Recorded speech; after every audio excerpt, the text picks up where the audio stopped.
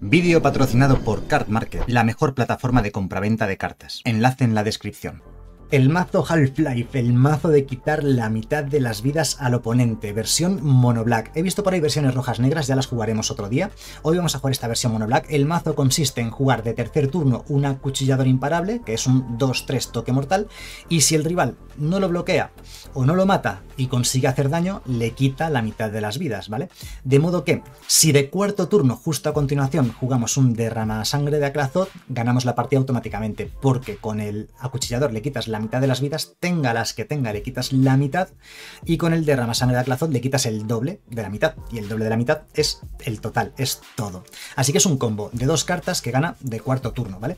¿Qué es lo que tenemos aparte de estas dos cartas? Pues un, mazo mono black mid-range como cualquier otro, ¿de acuerdo? O sea, digamos, ocho cartas que por sí mismas son buenas, ¿vale? El acuchillador es un buen bloqueador y es un buen atacante, pega una barbaridad, quitarle la mitad de las vidas no es poca cosa.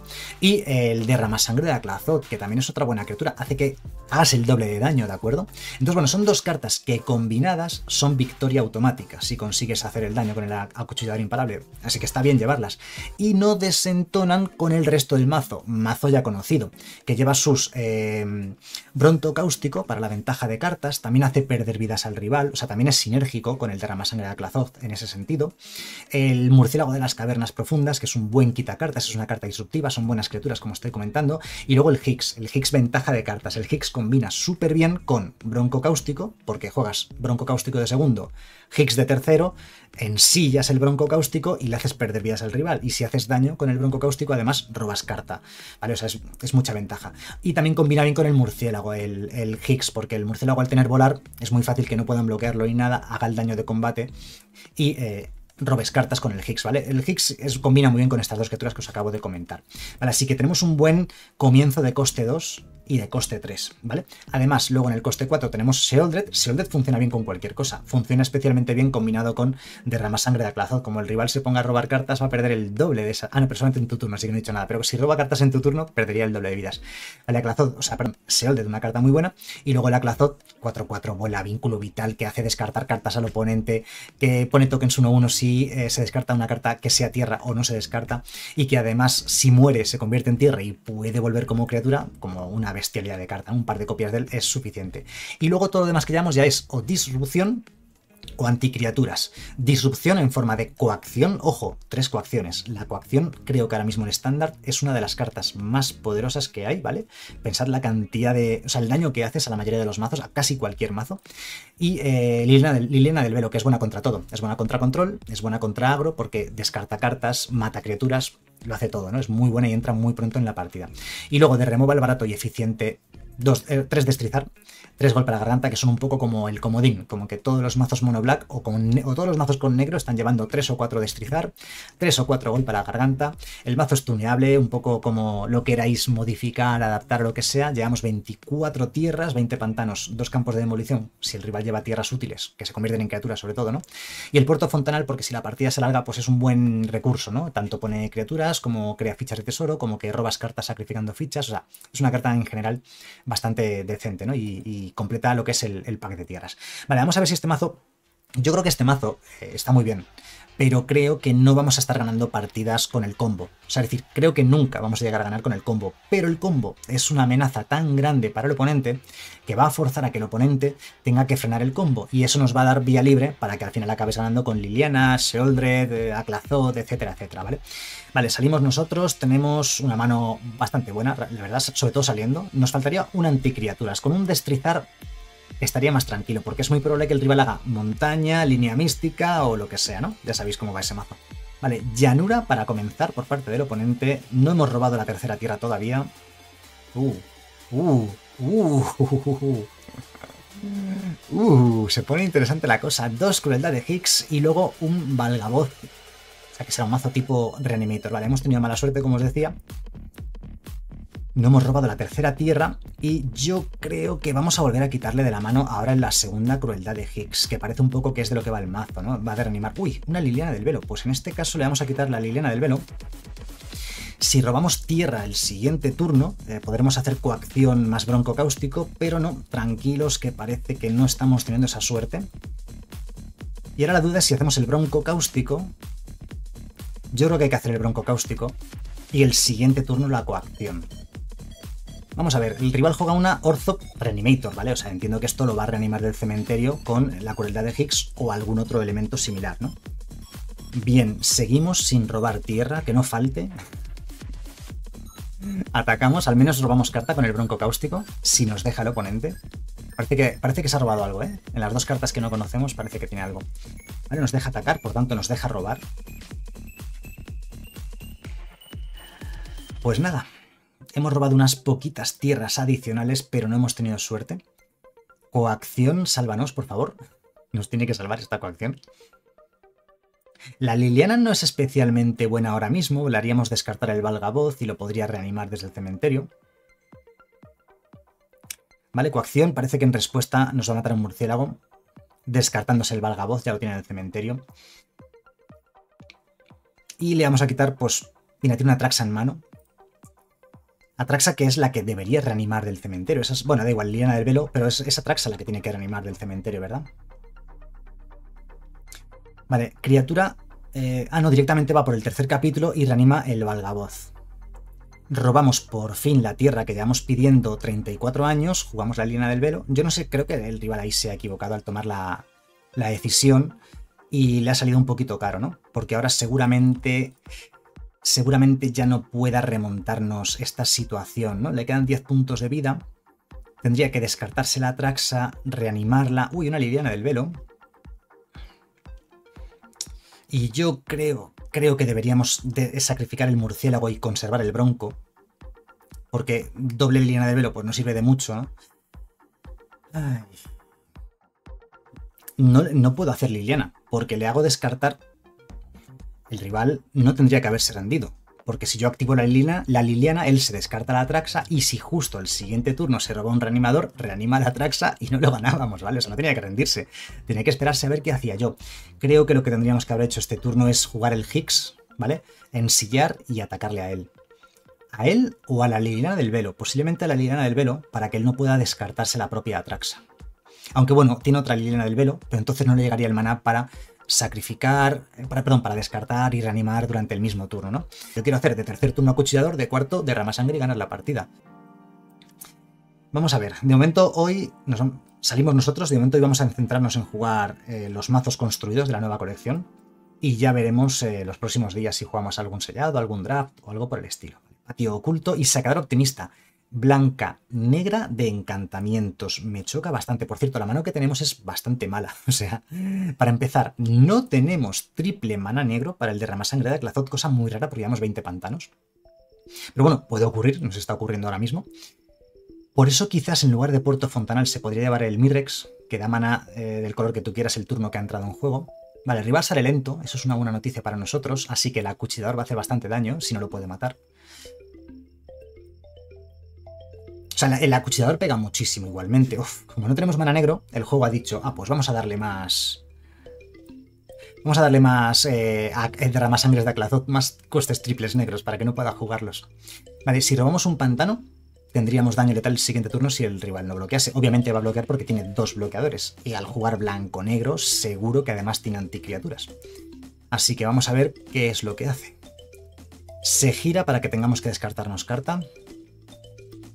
Yo diría que con doble derrama sangre me puedo quitar uno, además ni siquiera lo podemos jugar. ¿Podríamos habernos quitado la tierra? Podríamos habernos quitado la tierra, dado que no nos permite jugar el propio derrama sangre, ¿no?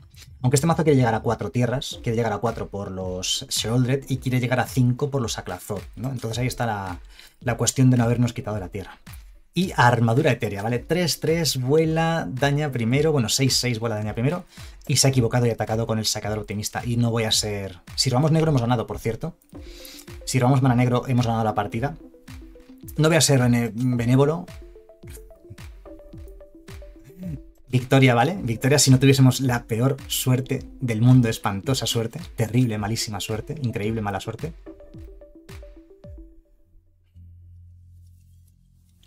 ¿Qué hago? ¿Saco mana negro? Podemos sacar mana negro con el campo de demolición, ¿eh? Para poder jugar el derrama sangre al siguiente turno.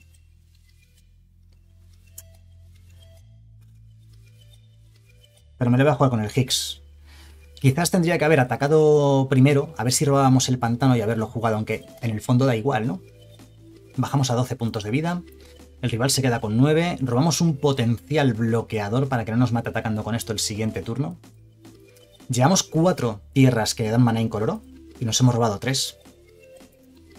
Y nos falta ese tercer pantano. Qué pena, el turno anterior habríamos ganado si no fuese por esto, ¿eh? Vamos a ver, se sube la mano el talento hurto, que me da un poco igual. Mira, ¿qué carta me voy a descartar ahora mismo? El... Ah, no, tiene que ser... Si me descarto tierra, tienen que ser dos cartas. Vamos a descartarnos el acuchillador imparable. Esto también vuela, también sirve como bloqueador, ¿vale? Para el hada criadora. No son malas noticias el doble murciélago.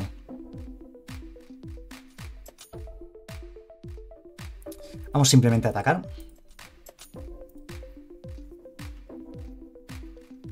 No bloquea, ¿vale?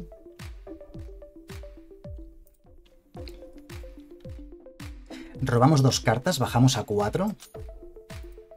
Oh, el Seoldred. Em, la cuestión es que el Seoldred posiblemente no nos sirva, porque si tiene cualquier removal a velocidad instantáneo, nos mataría el Seoldred antes de robar y no perdería esas dos vidas, y perderíamos la partida. Por tanto, creo creo que lo más inteligente es jugar el murciélago, ver que tiene en mano y bloquear lo que tiene. O sea, simplemente bloquear. Tenía dos tierras. Qué mala suerte. Tenía dos tierras el rival. Tenía dos tierras. Bueno, basta con que bloqueemos a la hada creadora si ataca. Tenemos tres cartas en mano, por tanto no perdemos. Vale, dos tierras tenía en mano. Si hubiésemos jugado el Soldet habríamos ganado. Pero no era. Lo lógico es que jugando él eh, un mazo mono. No, un mazo blanco-negro, lo más normal es que el rival hubiese tenido alguna anticriaturas, ¿de acuerdo? Entonces yo creo que hemos hecho lo correcto. Era jugar los murciélagos, que es jugar sobre seguro, ¿no? Decide seguir atacando. Nos queda únicamente un punto de vida. Y se rinde. Se rinde porque si atacaba, nosotros le atacábamos a él y ganábamos la partida y ya está, ¿no? Así que bueno, ahí está la victoria contra otro mazo blanco-negro. Otra vez, mazo blanco-negro, en este caso, mazo blanco-negro de encantamientos. Ojo el rival creo que no, está jugando la, la, mejor versión posible. Creo que no tenido mucha suerte, ¿verdad? Salva un montón de tierras, también es cierto. Pero ojo a los mazos de encantamientos. Estoy viendo blanco-negro, blanco-verde, blanco-azul, los iremos trayendo en los próximos días porque son mazos con mucho potencial. Vale, salimos, tenemos removal, removal y doble aclazot de los dos tipos. Eh, no es la mejor mano, pero bueno, nos la vamos a quedar, ¿no? A ver si el rival juega criaturas. Si juega criaturas, al menos podemos ir matándolas hasta que lleguen los pinos gordos en mesa. Y sí, juega criaturas montaña, agitador, cacofónico. Y no me voy a andar con tonterías, le vamos a matar todas las criaturas que juegue y ya está. Vamos a gastar todo nuestro mana en matarle criaturas. Y luego ya iremos viendo qué hacemos, ¿no? Eh, si no tiene criaturas, no podrá ganar. Vale, segundo turno, pantano. Eh, no tenemos el tercer mana negro, ¿vale? Otra vez la misma historia. Voy a tener que meter más pantanos en este mazo. Vale, el rival no juega nada. Voy... Voy a confiar en la suerte, acuchillador, porque si robamos pantano y el rival no tiene bloqueador el siguiente turno, ganamos la partida, ¿vale? O sea, es así de sencillo. Y si no robamos pantano, el siguiente turno podemos hacer coacción más golpe a la garganta, ¿vale? Que aunque ahora mismo nos juegue el pollo y nos haga 10 de daño, por ejemplo, nos puede hacer 10 o 12 perfectamente este turno, eh, con la coacción y el golpe a la garganta posiblemente pueda ser suficiente para que no nos gane la partida. Si nos mata el acuchillador con una mono red de agitador cacofónico y querido de los tiroclácil, me extrañaría muchísimo que, que pudiese matar el acuchillador imparable.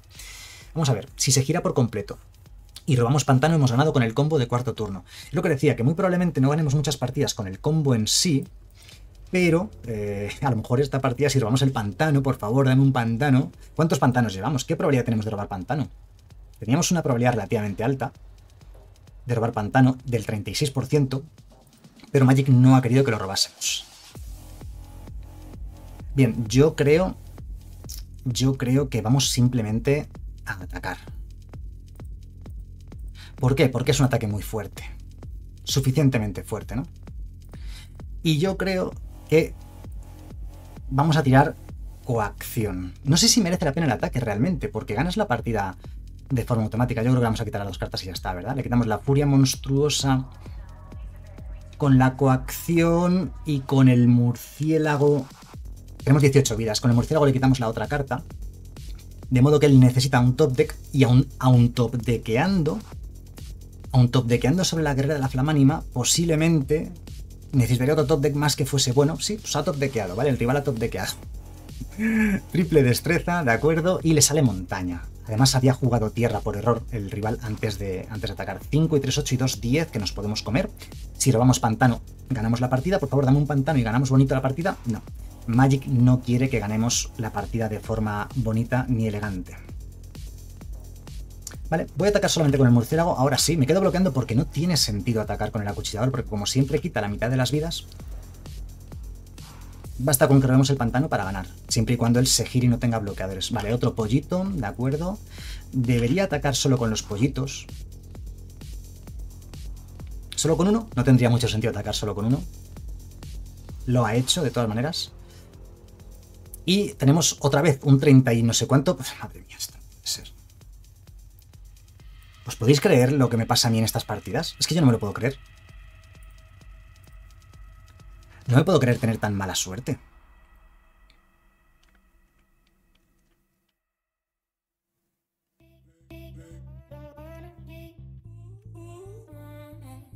Vale, vamos a hacerlo. O sea, creo que es lo óptimo. Le matamos el segundo pollito, pegamos de uno, ganamos una vida tenemos un bloqueador bastante consistente. Tiene que... Cualquier cosa que robe, que haga objetivo a la guerrera, le vale.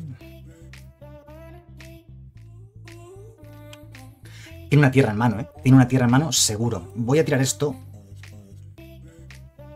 Podríamos poner un token, pero no quiero perder vidas realmente. Ah, bueno, pero podemos poner ficha. Vamos a atacar con la voladora. Y pondremos ficha de tesoro con el, con el puerto fontanal. Ponemos ficha de tesoro con el puerto fontanal. Podría haber jugado la coacción, ¿eh? Me he equivocado. Tendríamos que haber tirado la coacción porque nos llegaba el mana para ello. Y el rival se rinde porque ya está. O sea, ¿Estamos ganando partidas con este mazo?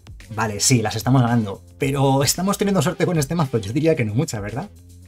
Vale, salimos nosotros mano jugable, nos la vamos a quedar. Y a ver si robamos algo de coste 2 para tener toda la curva, ¿no? Turno 1, 2, 3, 4, ¿vale? Rojo, blanco, ratoncito, bien. No vamos a, a perder el tiempo con estas cosas, ya sabéis lo que pasa luego si pierdes el tiempo, el deslizar solo sirve cuando la criatura es pequeña. Se te puede ir de las manos, vale, tierra de turno, Sí, saliendo la monorred esa... Uy, ratoncito. León de la sabana nos acaba de meter en mesa. Eso indica que no tiene muchas criaturas en mano. Vale, pues tierra de turno y vamos con el Higgs. Siguiente turno, Sheoldred. Sheoldred con Higgs y robamos. Y ganamos vidas, ¿eh? Vale, bien. Saliendo nosotros... Es la roja blanca de encantamientos, ¿eh? Qué chulo es este mazo. Lo quiero... Tengo unas ganas de jugarlo. No me lo puedo creer. Bueno, tenemos que bloquearlo y ya está, ¿no? Siempre que reciba daño, hace esa misma cantidad de daño a cualquier objetivo. Y si recibe daño, no puede ganar vidas durante el resto del juego. ¿Qué tenemos que hacer? ¿Dejarlo vivo entonces? Tenemos que dejarlo vivo. Lo más inteligente es dejarlo vivo. Vamos a meter el Seoldred, ¿de acuerdo? Porque me mola el concepto del Seoldred. Atacamos de 3, ganamos una vidita por el camino y robamos carta. Esto sigue vivo, lo vamos a dejar vivo. Y al siguiente turno ya tenemos el golpe a la garganta, o el aclazot, o lo que sea, ¿no? Ya, iremos viendo, ¿no? Y el rival ya va a perder muchas vidas, por cierto, ¿eh? Con el aclazot en mesa, o con el golpe a la garganta, o otro más. Le queda una tierra enderezada, a ver si ataca. Debería atacar con esas dos, efectivamente. Ataca con todas. 3 y 3, 6 y 2, 8. Y nosotros tenemos letal, por cierto. Me como el daño. Me como el daño porque no quiero que dope al ratón pequeño, me mate al Seoldred, porque nosotros ganamos ahora.